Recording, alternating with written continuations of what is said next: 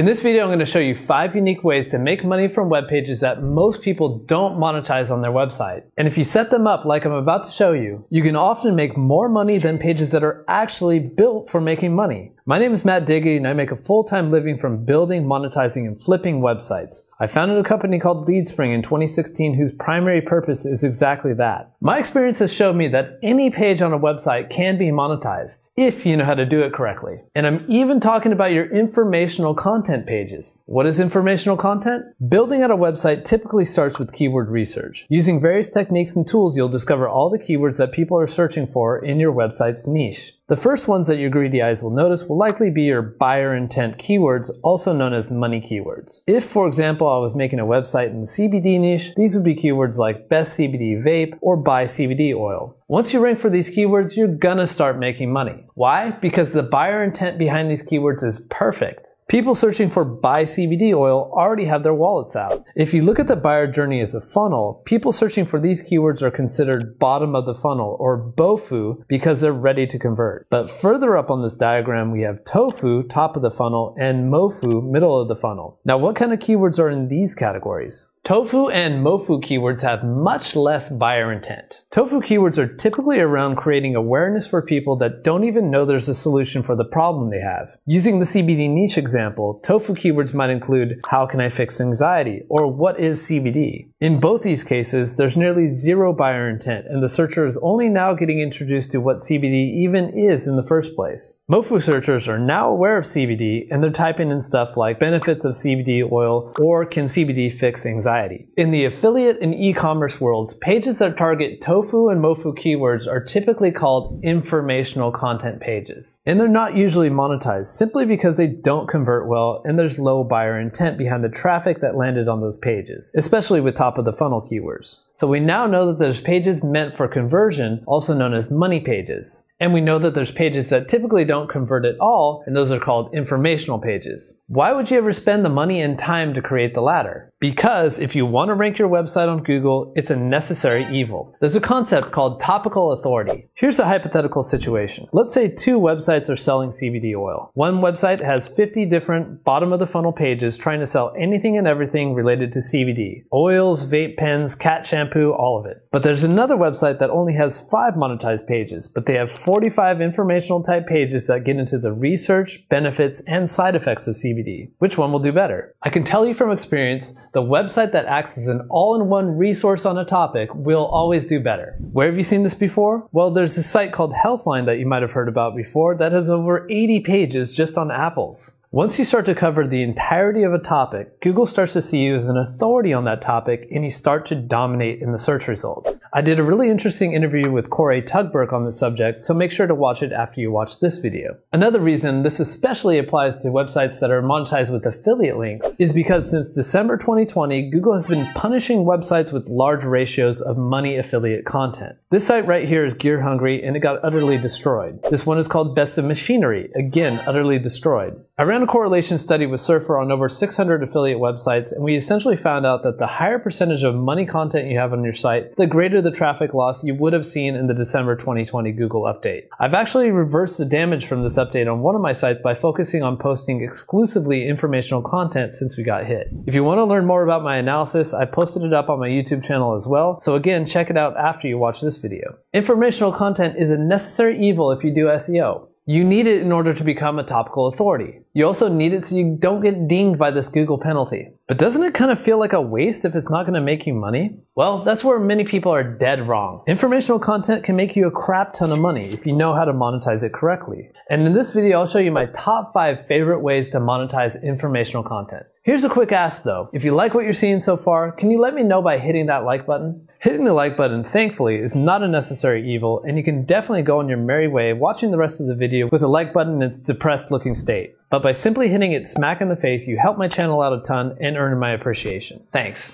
The first way I recommend to anyone and everyone in the freaking world who owns a website is to monetize their informational content with an email list. A lack of an email list on an e-commerce, affiliate, or SaaS website should seriously be a crime. Let me show you how it's done. I guess I understand why many people don't do it, because it's foreign to them and it's a completely different thing altogether compared to typical SEO tasks. Well, let me make this super easy for you, and I'll show you how much money it can make you too. Actually, let me just start with how much money an email funnel can make you. People can sign up to my email list through various forms like here in my sidebar, or here at the bottom of a blog post, or here where they're downloading one of my free guides like my Evergreen On-Site SEO guide. By the way, I'll leave a link to download it in the description. When you sign up, you receive a welcome email with a link to a whole bunch of free guides. And then in a few days, you get an email that takes you to a page with my legit favorite SEO tools and services. Each of these links is monetized with an affiliate link. And just from the email list sending traffic to this page over the last three months on average, I'm making $4,562 per month on autopilot. Good job. Really good job. Note that I'm not counting any of the income that this email list is bringing to my other businesses, such as my agency, The Search Initiative, or my course, The Affiliate Lab. This is strictly the front end earnings that show up right away. Here's how to create and monetize an email list. Look at what type of informational content is on your website and divide it up into categories. So in my case, I have a lot of content on on-site SEO, off-site SEO, case studies, and general business advice. For each of these categories, make a free downloadable PDF guide. Like my Evergreen On-Site SEO guide, my backlink blueprint timeline, my collection of case studies, and my business scaling guide. Then use a software like Thrive Leads or Optinmonster to create and place inline call to action buttons in your content. You want to match the topic of the guide with the specific category of content that its readers would appeal to. For example, in my completely informational guide to anchor text, you'll see a place to download my backlink blueprint PDF. This will pop up a form for you to enter in your name and email address. That form will connect to your email marketing provider. For most simple setups, I use Aweber.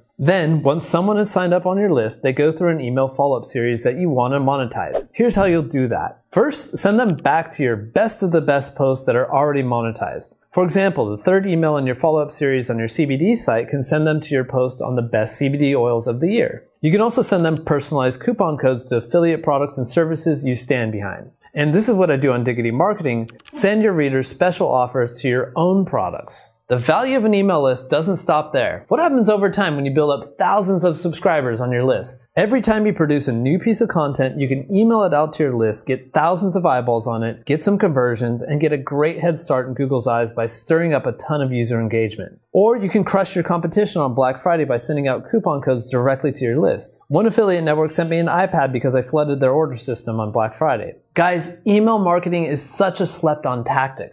So important that I decided to make a full on module on it for my course, The Affiliate Lab. Please don't sleep on email marketing no matter what kind of site you have. The next informational content monetization strategy is outside the box for sure, but it requires zero work, and that's renting out your Facebook Pixel audience. If you have an affiliate site, so you're not likely running ads on Facebook. But nearly every business you're promoting is. And if you install a Facebook pixel on your website, you can collect data on who visits what types of content on your website. And then you could rent that audience data to your affiliate partners so they can retarget them with ads on Facebook. On a CBD website, you could track to see who visits your pages that cover CBD and sleep. Then rent that audience out to a company that sells CBD sleep supplements. All you have to do is install a Facebook pixel on your site, create various audiences based on the different categories of your informational content, then pitch potential partners. Here's an actual email conversation on how I pitched this before. Hey John, do you guys run any Facebook advertisements? In July, our site had 31,000 visitors, and that's continuing to rise. Your competitor had approached me about buying access to the retargeting pixel, but I wanted to talk to you about it first. Hey Matt, thanks for thinking of us. We're definitely up for that. What are you looking for? Well, your competitor hasn't made me an offer yet. Typically for pixels with this level of traffic, they go for about $1,000 per month. If traffic doubles down the road, then we can renegotiate, but I'm okay with locking that in for three months. You can see I'm leaving room for myself to make even more money later. Right on, makes sense. We're definitely flexible down the road as traffic changes. For now, we can do $1,000 for one month and test it. And as easy as that, with two emails, you can make yourself $1,000 per month.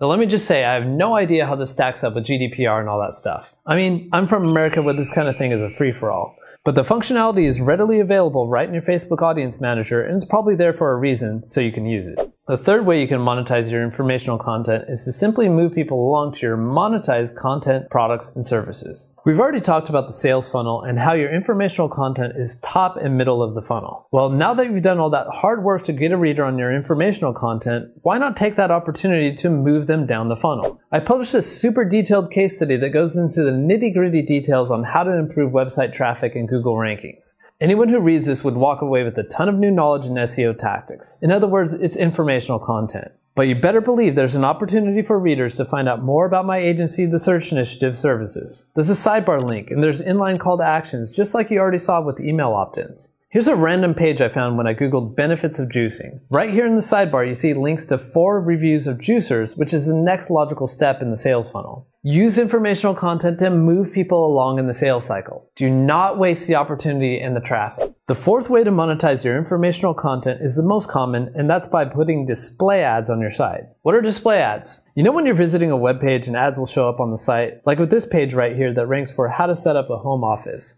These are display ads. The most well-known place to start with display ads is probably Google AdSense. You simply need to apply, get accepted, and then start putting code on your site to indicate which pages are okay with ads being inserted. But depending on your levels of traffic, I'd recommend using a provider like Mediavine or AdThrive. They work with multiple ad partners to get you more revenue per visitor than just using straight vanilla AdSense. How much money can display ads make you? It all depends on how many eyeballs you can get on your ads. This case study done by the Conscientious Eater shows that the typical RPM, that's revenue per 1,000 page views, on Mediavine will get you $10. The typical RPM on AdThrive will get you $15. With my company LeadSpring, we typically monetize with the affiliate model but we do indeed add display ads to all the content on our sites. I put up a video case study recently that goes over in detail a website that we sold for $600,000. And its trailing six months revenue was about $19,000 and the money coming from AdThrive ads was only $818. That's about 4.3%, not much at all. That said, in a study I did with Empire Flippers, we analyzed all the content websites sold since January 2019 and found plenty of websites making all the way up to $24,000 a month just from display ads. It all depends on your niche, traffic, and ad provider. There's concerns over whether or not display ads will slow down your website. And I'm not gonna lie, they definitely will. But if you're implementing typical website speed optimization practices, then you should be fine. And in case you're wondering if you should put display ads in your monetized affiliate content, I got your back. Many people worry about display ads distracting readers from their primary call to actions on their monetized content. Well, I've tested it, and there's a link to a video with the results in the description. Informational content monetization tactic number five is similar to display ads, but you're selling them privately in the form of banner ads. Instead of signing on board with AdThrive or Mediavine, who will rotate ads on your page depending on the visitor, you would instead rent space on your pages long term to a specific partner who would typically pay you more money. If you go to Spencer Haws' website, Niche Pursuits, you'll see this in action on his sidebar with banner ads for both Ezoic and Motion Invest and you can bet your buns he's doing better than $15 per thousand page views. To get these requires a bit of outreach, but if you have an authoritative site with a lot of traffic, sometimes they come to you, but it's rare. When you pitch them, be prepared to have your traffic numbers on hand because that's what they care about. What kind of traffic is going to the specific pages in their niche? And when it comes to negotiation, you know that an RPM of $15 is the lowest you'll go and that you should work up from there. I like to start with $30 and make multiple partners bid against each other. Thanks for watching this video. Make sure to subscribe for more videos just like these.